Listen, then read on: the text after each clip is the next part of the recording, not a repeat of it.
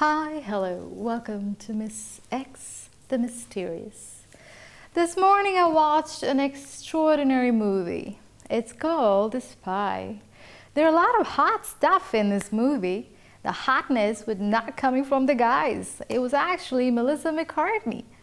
Girl, you can act. I love the way you act. Your comedic timing was perfect. You don't have to be thin or fat or named or whatever. Girl, you got it going on. You rocked that movie like that. I loved your acting. Of course, you know there is Jude Law. I love his blue eyes and skin tone, all tanned. Who would not love Jude Law? Would you not love make love to Jude Law? I sure would. I loved his acting too. He's like what do you call? A dream man. I would love to be with him.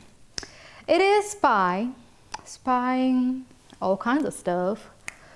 What do you actually spy? I can't tell you that, can I? I would be revealing the climax then.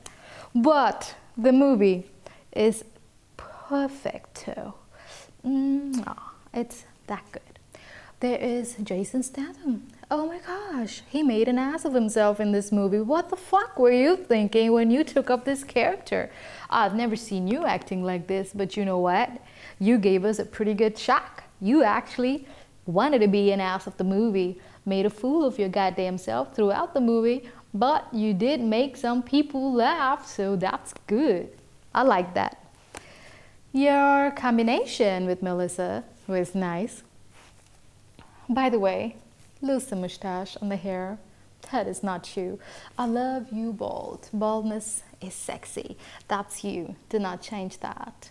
Melissa girl, I was told that you worked really hard for this movie and you're trying to lose weight. Honey, why lose weight when you can look that hot, huh? I wouldn't do that. You rock because you look the way you look. Why change? Why be different? Be you. Ha ha ha. And Amber Rose, the porn star name, girl, you got it going on doing that too. You can do anything. You can be a spy. You can be a model. You could do anything. You acted really, really, really good. The Spy movie is a rocking movie. I loved it. All three main characters did an absolutely splendid job. This is for you, Jude Law. Next time you come by my country, boy, you call me, okay? Because I got something for you that's called love. And this movie gets a double rocking A plus from me. Watch it in your near theaters because this is Miss X review and I cannot go wrong. Goodbye. Hey guys, this is Miss X the Mysterious.